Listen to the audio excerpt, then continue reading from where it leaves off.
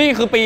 2023 แล้วแน่นอนโทรศัพท์มือถือรุ่นใหม่ๆ ก็เปิดตัวออกมานะครับ อย่างตอนนี้ครับ Redmi 12C นะครับ เพิ่งเปิดตัวมาสดๆ ร้อนๆ ต้องบอกก่อนนะครับ นี่คือโทรศัพท์มือถือราคาประหยัดที่ยังคงให้กล้องมาถึง 50 ล้านพิกเซล มันจะดีขนาดไหน เดี๋ยวเราไปชมกันเลยครับ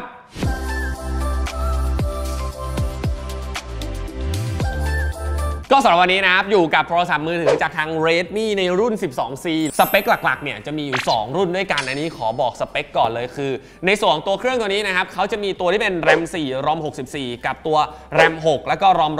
128ถามว่าใช้งานทั่วๆไปเนี่ย RAM 4กิกก็เพียงพอแล้ว แต่ถ้าสมมติคุณเป็นคนที่ชอบเสพโซเชียลเยอะมากๆนะครับ ผมแนะนำว่าให้กระโดดไปตัว RAM 6กิกเลยดีกว่า เดี๋ยวเรามาแกะกล่องดูด้านในกันดีกว่าว่า สีตัวจริงมันจะสวยขนาดไหน เออ อะ เปิดกล่องออกมานะครับ เจอกับตัวโทรศัพท์มือถือ 1 เครื่อง ด้านหน้าในส่วนตรงนี้นะครับ ก็จะมีสติกเกอร์กันรอยแปะเอาไว้นะครับ แล้วก็มีเขียนเอาไว้เลยว่าใช้ CPU ของทาง Helio G85 เป็น CPU ยอดนิยมนะครับ แล้วก็ในส่วนของตัวจอเนี่ยจะมีขนาดความใหญ่อยู่ที่ 6.71 นิ้วด้วยกันนะครับ เป็นหน้าจอแบบ HD Plus ยังไม่ใช่ Full HD นะครับตัวนี้ ส่วนตัวกล้องที่ผมบอกไปตอนแรกจะเป็นกล้องแบบ AI 50 ล้านพิกเซลนะครับ แล้วก็ตัวแบตเตอรี่เนี่ย อันนี้น่าจะถูกใจใครหลาย ๆ คนเลยก็คือ พอโทรศัพท์มันไม่ได้สเปคแรงมากใช่ไหม แต่ว่าแบตเตอรี่เขายังให้มาเป็นแบบ 5,000 มิลลิแอมเนี่ย คือคุณสามารถใช้งานได้โคตรยาว ใช้งานได้แบบนานทั้งวันแน่นอนนะครับ แล้วก็ในกล่องเนี่ยเขาจะมีอะแดปเตอร์ชาร์จมาให้ด้วยนะครับ ในกล่องตัวนี้ นี่ เปิดออกมาปั๊บ อะอย่างแรกคุณจะเจอกับไม้จิ้มซิมก่อนเลยนะครับตัวนี้เป็นไม้จิ้มซิมภายในกล่องนะครับแล้วก็จะมีในส่วนของตัวสายชาร์จ ซึ่งตัวสายชาร์จตัวนี้นะครับเขาจะมาเป็นแบบสายชาร์จ USB Type A นะครับมาพร้อมกับตัวอีกฝั่งหนึ่งที่เป็น Micro USB นะครับซึ่งตรงนี้ผมแอบเสียดายหน่อยตรงที่เขาน่าจะอัปเกรดสายมาเป็น Type C ไปเลยนะครับต่อให้มันเป็นโทรศัพท์รุ่นประหยัดก็ตามที ถ้ามันมาเป็น Type C เนี่ยเรารู้สึกว่ายุคนี้มันพกสายเส้นเดียวมันจบ และต่อมาครับในส่วนตัวนี้จะเป็นตัวอะแดปเตอร์ชาร์จนะครับตัวอะแดปเตอร์ชาร์จตัวนี้เนี่ยจะเป็นอะแดปเตอร์ที่เป็น USB Type A นะครับมีความแรงไฟอยู่ที่ 10 วัตต์ด้วยกันนะครับขาไม่สามารถพับได้ ขาไม่สามารถเปลี่ยนได้นะครับ ก็จะเป็นขากลมนะครับ ก็เรียกว่าตามมาตรฐานมอก. ประเทศไทยแล้วกันเออแล้วก็ภายในกล่องไม่ได้มีอุปกรณ์อะไรมาให้อีกแล้วนะครับ ก็ครบหมดแล้วตามนี้ในกล่องมีหูฟังไหมขอดูแป๊บ ไม่มีฝากล่องก็ไม่มี นะครับฝากล่องตัวนี้ก็ไม่มีอะเรามาลองลอกจอดูกันนิดนึงดีกว่าครับความสวยงามของหน้าจอตัวนี้จริงๆนะครับก็คือเป็นหน้าจอแบบ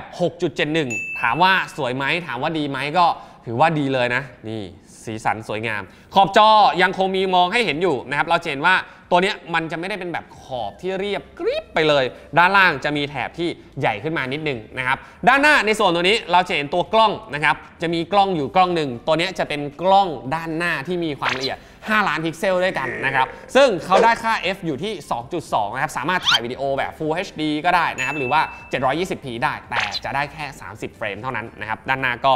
ไม่ได้มีอะไรเป็นพิเศษ เรื่องของสเปคหน้าจอตัวนี้ต้องบอกก่อนว่าอัตรา refresh rate จะอยู่ที่ 60 Hz ตามปกติเลย ไม่ได้มีแบบเป็น 75 90 นะครับ อยู่ที่ 60 Hz เน้นใช้งานทั่วไป น้ำหนักตัวเครื่อง 192 กรัมนะครับ ตัวนี้จะอยู่ที่ 192 กรัม ด้านหลัง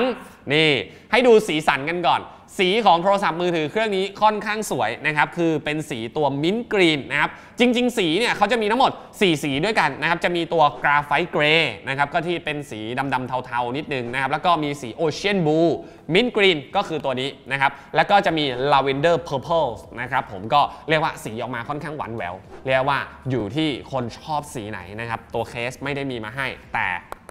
ฝาหลังมาเป็นพลาสติก มีลาย texture ที่เรียกได้ว่าถ้าเราลองจับสัมผัสดูเนี่ย จะรู้สึกไม่ลื่นอะได้ยินไหมครับ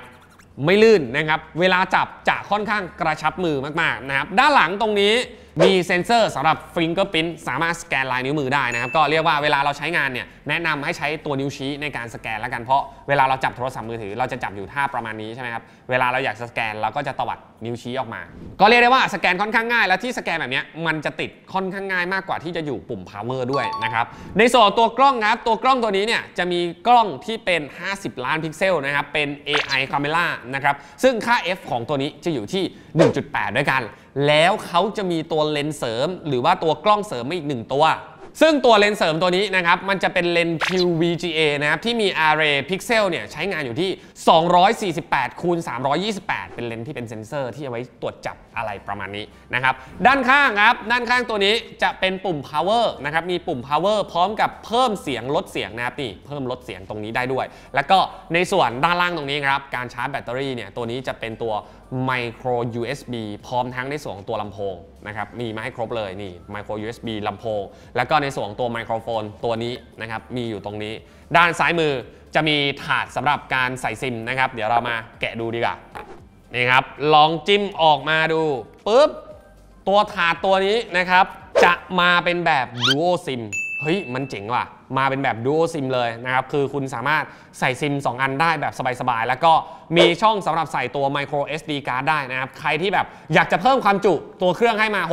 128 ไม่พอ อยากจะเพิ่มนะครับ สามารถใส่ได้สูงสุดที่1เทเลไบต์เลยนะครับ รวมมันแบบแบบสูงสุด 1 เท แล้วก็ Dual SIM ไม่ได้ว่าใส่ Micro SD card ซิมจะหายนะ อันนี้คือใส่ใช้งานได้พร้อมกันเลย และต่อมาอีกหนึ่งฝั่งนะครับ ด้านบนเลยจะมีในเรื่องของตัวช่องสำหรับการเสียบหูฟังนะครับ ตัวนี้จะมีรูสำหรับการเสียบหูฟังมาให้อยู่นี่อยู่ตรงนี้เป็นแจ็ค 3.5 นะครับเขายังคงมองว่าช่องเสียบ 3.5 ยังคงมีใช้งานอยู่ แล้วก็มันยังมีหูฟังที่วางขายแบบแพร่หลายอยู่ค่อนข้างเยอะมากนะครับก็ยังคงถือว่า มีมาให้อยู่ อ๋อ ผมลืมบอกไป รูการเสียบชาร์จตัวที่เป็นไมโครอย่างนี้นะครับ มันรองรับเพียงแค่ 10 วัตต์เท่านั้น ไม่ได้รองรับแบบฟาสชาร์จชาร์จได้อย่างรวดเร็วนะครับ แต่เขาก็ชดเชยมาด้วยแบตเตอรี่ที่ค่อนข้างใหญ่ก็คือสามารถใช้งานได้ทั้งวันแบบสบายๆอยู่แล้วนะครับ ก็เดี๋ยวเรามาลองดูสเปคการใช้งานกันนะครับ ตัวนี้ก็เข้ามาปั๊บนี่ ผมมีการ test ตัว Geekbench 6ไว้ด้วยนะครับ ซึ่งตัวนี้เป็นตัวผล test benchmark รุ่นใหม่ล่าสุดนะครับ ก็ลองดูคะแนนกันก่อน ซึ่งคะแนนที่ได้ออกมาเนี่ย ต้องบอกตามตรงมันก็ตามสเปคของตัว CPU ที่เป็นตัว Helio G85 นะครับแต่ว่าในตัวแอปพลิเคชันเนี่ยผมลองเช็คมันก็เป็นโมเดลรหัสที่เป็น Xiaomi ตัว 22120 ตัวนี้มันจะเป็นชื่อ device แทนนะครับ แล้วก็ CPU เนี่ยจะเป็นตัว ARM MT6769V นะครับ อันนี้ก็คือเป็นชื่อรหัสเจาะจง ซึ่ง คะแนนที่เพื่อนๆเห็นเนี่ยก็เรียกว่าสามารถใช้งานทั่วไปได้ อาจจะไม่ได้แรงเวอร์วัง อาจจะไม่ได้เหมาะสำหรับการเล่นเกมนะครับแต่ถามว่าโทรศัพท์มือถือเครื่องนี้มันเล่นเกมได้หรือเปล่า เดี๋ยวผมจะลองเล่นในส่วนของตัวเกม PUBG สักหน่อยหนึ่งแล้วกันอะเดี๋ยวเรามาดูกันครับอะเดี๋ยวเรามาลองเกม PUBG ดูนะครับ ซึ่งเกมนี้ผมปรับเป็นแบบ HD นะครับ แล้วก็ frame rate ระดับสูงไว้นะครับ แล้วก็ในส่วนตัวโหมดเนี่ยก็เป็นแบบคลาสสิกนะครับ ถามว่ามันเล่นได้ไหม มันก็เล่นได้นะครับสำหรับโทรศัพท์มือถือในช่วงราคาแค่นี้ถือว่า มันโอเคเลย ไม่ได้ปรับแบบสูงได้ไม่ได้ปรับสุดได้แต่มันเล่นเกมได้ครับนี่วิ่งแบบลื่นๆเลยนะครับ ตอนโหลดเข้าเกมอาจจะใช้ระยะเวลานานนิดนึง แต่พอเข้าเกมมาแล้วเนี่ยเรื่องของการเล่นมันเล่นได้ครับ นี่โอเคเลยนะ อันนี้คือปรับเป็นแบบ HD ด้วยไม่ได้ว่าปรับเป็นแบบ very low นะไม่ได้ปรับแบบต่ำสุดนะเล่นได้แบบสบายเลยครับ แล้วก็หน้าจอเรื่องของการทัชต่อให้มันเป็น 60เฮิร์ตก็ตามที แต่ผมก็รู้สึกว่ามันค่อนข้างทัชติดมืออยู่นะครับ ฉากแมปอะไรต่างๆ ก็โหลดได้ค่อนข้างไวอยู่ครับนี่เรียกว่าก็เล่นได้ครับ ใช้คำพูดว่าเล่นได้สบายเลยแหละเออไม่ได้แบบย่ำแย่อะไรขนาดนั้นนะครับอะเดี๋ยวตามไปซ้ำก่อนคนล้มต้องซ้ำนะครับปึ๊บโอเคอะผมมองว่าโอเคเลยสำหรับในเรื่องของการเล่นเกมนะครับใครที่แบบว่า ต้องการใช้งานทั่วไปเล่นกงเล่นเกมอะไรพวกนี้ ถือว่าค่อนข้าง work อยู่นะครับ แต่ผมเชื่อได้ว่าคนที่ซื้อโทรศัพท์มาแบบเนี้ยจะใช้งานเป็นแบบไลฟ์สไตล์เดี๋ยวเราไปลองถ่ายคลิปวิดีโอกันดูดีกว่าครับว่ามันชัดแค่ไหนไปลองถ่ายวิดีโอดูนะครับ กับภาพ Full HD 30 เฟรม ลองดูว่าเป็นยังไงบ้างนะครับ คือตอนนี้แสงช่วงประมาณ5โมงเย็นผมว่ากำลังดีนะกำลังสวยเลย ลองเดิน ลองเทส คือราคาขนาดนี้ผมพูดตรงๆว่า มันไม่ต้องทดสอบหรอกว่ามันมีกันสั่นหรือเปล่าครับ มันไม่มีหรอกอะไปน่าโอเคอยู่นะอะเดี๋ยวเราลองกลับย้อนแสงดูครับนี่คือลองถ่ายย้อนแสงนะครับ กับตัววิดีโอ Redmi นะครับผมหรือว่าถ้าสมมติเอาไม่ย้อนแสงแล้วเดินนำหน้าไปฮึบนี่ได้อยู่นะ กับราคาเท่านี้ เรื่องความคมของวิดีโอ อันนี้ผมยอมรับจริงนะเขาเหมือนมีการปรับเพิ่ม sharp มาจาก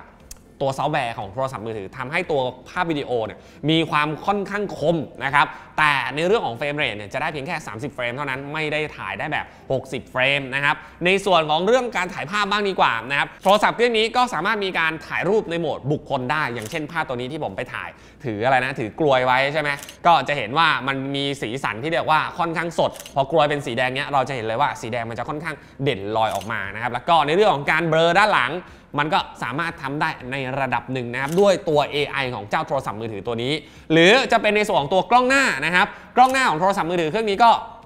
สามารถถ่ายในโหมดบุคคลได้หน้าชัดหลังเบลอหรือว่าจะเป็นการถ่ายภาพแบบปกติ อันนี้สามารถถ่ายได้หมดเลยนะครับเนี่ยลองถ่ายพวกวิว landscape นะครับหรือว่าถ่ายท้องฟ้าอย่างท้องฟ้าอันนี้นะครับต้องบอกก่อนว่ามันสามารถถ่ายเป็นแบบ HDR ได้นะครับเนี่ยผมก็จะมีภาพแบบ HDR หรือว่าอะถ่ายรูปซูม close up ใกล้ๆ แมวนะครับผมนี่ถ่ายอยู่ในห้องนะครับภาพที่ได้ก็เรียกว่ายังค่อนข้างคมอยู่นะครับเนี่ยค่อนข้างคมเลยนะครับนี่ เออก็ดูดี หรือจะถ่ายแบบเหมือนถ่ายเจาะเข้าไปที่ต้นไม้อย่างเงี้ยครับเราก็ยังคงเห็นรายละองรายละเอียดอยู่ คือตัวกล้องอะมันได้ความละเอียดแบบ 50 ล้าน มันก็เลยทำให้ภาพมันแบบค่อนข้างชัด เก็บความละเอียดได้แบบ เต็มจริง อันนี้คือเต็มจริง ๆ เลย ก็เป็นว่าใครอยากได้ไปลองดูกันแล้วกันนะครับ วางขายไว้เรียบร้อยเดี๋ยวผมชี้เป้าไว้ให้ใน description นะครับ โทรศัพท์มือถือรุ่นใหม่ในปี 2023 ราคาไม่โหด แต่ได้กล้องระดับโหดๆแบบ 50 ล้านพิกเซล ใครอยากได้ไปลองดูกันสำหรับวันนี้ทางผมนบ Xfinity ขอตัวลาไปก่อนไว้เจอกันใหม่รีวิวหน้า สวัสดีครับ